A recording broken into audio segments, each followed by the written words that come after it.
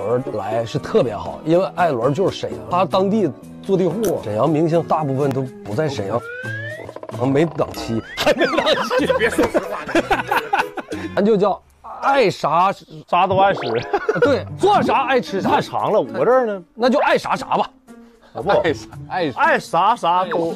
你不能爱吃啥吃啥呀，好像咱过去点菜去了，人家做啥咱吃啥，对呀，做啥咱爱啥，做啥爱啥，做啥爱啥。做啥爱啥。如果没有这种节目，肯定是干干这辈子干不着这个，就上人家敲门说吃饭这种。可是我看你这词儿挺溜的呀，我还不知道咋说呢。你是上你家吃个饭，我们录一个节目，那个咱咱要吃顿饭，不是啥啥，他说啥饭？你说咱想吃顿饭。饭，这老要饭不是老要饭，这不刚要吗？大哥呀，哎，开桌没啊？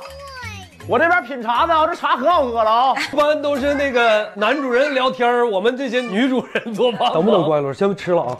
不等他，不等他，不等他。什么？永远在护队第一线的沙溢郭艾伦，在看到小月月时，终于意识到他俩是一个战线的了。你叫我们敲开了，你叫我，你回去，哥，这桌是我的。没人留你，你回去。